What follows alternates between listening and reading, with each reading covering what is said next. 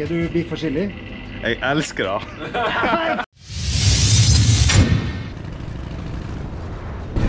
En utsikt til andre sida av fjorden som er spektakulær, rett og slett. Det er jo helt, eh, helt, helt magisk. Nå sitter vi egentlig bare Berg og ja. Nå skal vi jo, tenkte vi oss jo Vi tenkte vi skulle prøve å komme oss til Sognefjorden, så vår plan nå egentlig er å kjøre, Kjør inn sånn. Ja.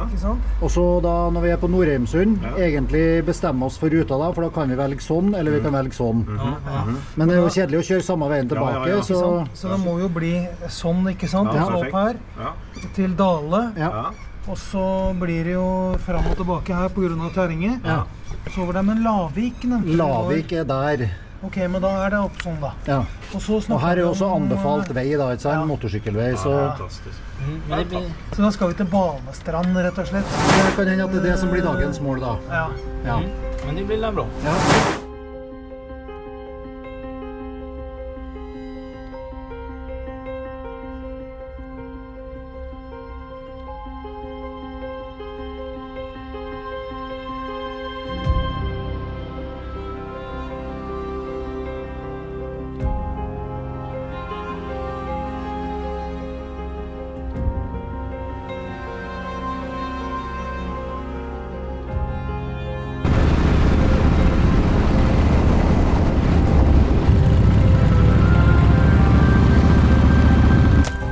Jeg føler jo at jeg bare sitter og smiler og har det bra, liksom.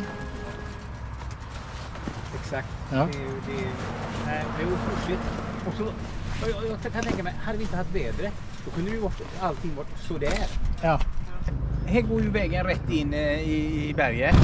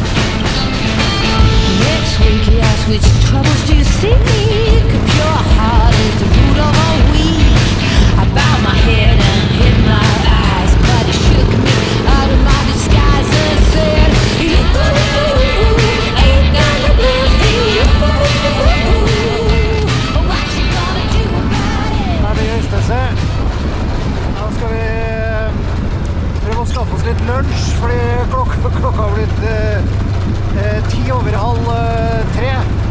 Det er lunsjtid for oss, så da, Ei kebabrulle. Da blir det tre halv spicy, Så er du Ja. Klarer du det, eller? Det var godt med kaffe, ja.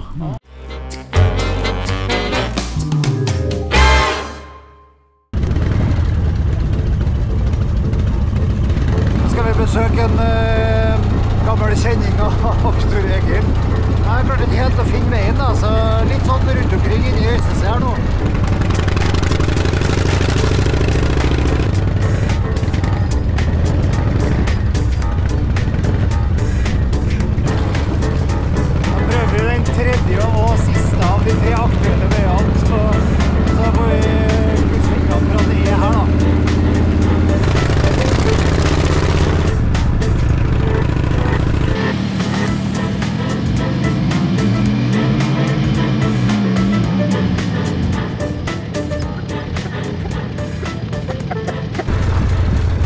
Vi fant frem her.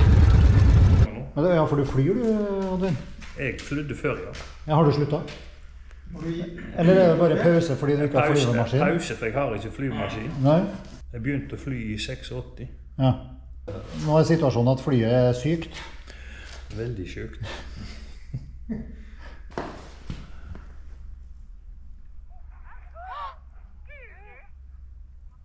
Det tippa rundt, det. Ja. Knuste hele flyet. Gikk det bra med han, da? Ja, ja. Ikke stoltheten, da. Nei, det skjønner vi jo. Fotar det så han på YouTube. Ja. Det går helt fint. Ja, så bra. Vi skulle liksom bare komme innom på en kopp kaffe, vi. Det var tanken vår. Dette var hyggelige, hyggelige greier. Da ligger vi jo selvsagt eh, ganske langt etter det dagsskjemaet vi diskuterte på kartet i dag. Så da lager vi oss en ny plan, men det gjør vi først vi har fått stoppa på en dagligvarebutikk i Nord-Eimsund og fått uh, konkurranse med litt uh, B-vitaminer.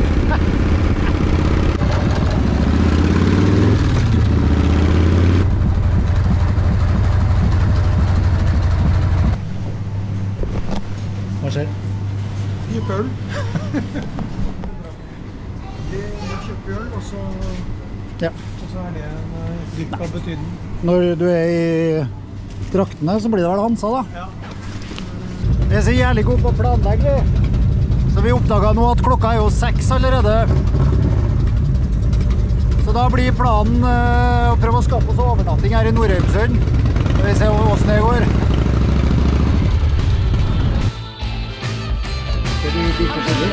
Jeg elsker det.